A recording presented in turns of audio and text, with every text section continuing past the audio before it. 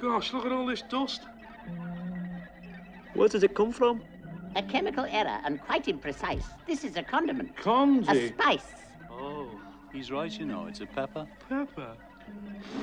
Pepper. Ah, Achoo!